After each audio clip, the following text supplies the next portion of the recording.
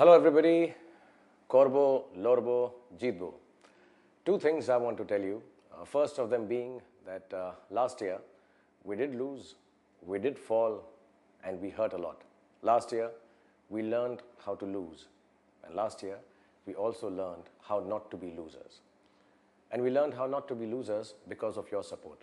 Every KKR fan, every KKR supporter, every person who's uh, sent a little prayer or thought good about the Kolkata Knight Riders.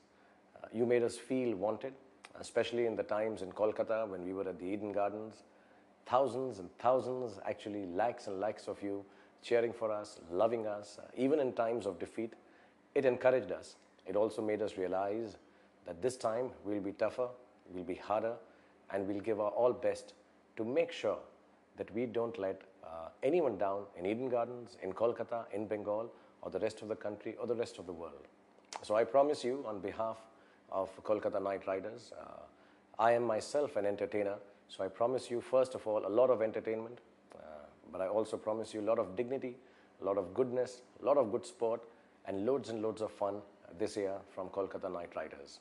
Um, my whole team, uh, the management team, uh, the cricket playing team, all my friends, and all the fans and supporters of Kolkata Knight Riders.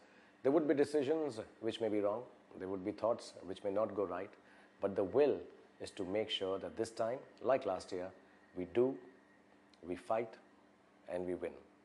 Inshallah. Thank you very much, everyone. Korbo, Lorbo, Jeetbo.